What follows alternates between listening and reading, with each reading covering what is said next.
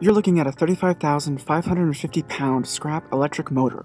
It was a double armature motor, shunt wound, with 1500 SHP per armature and 200 RPMs.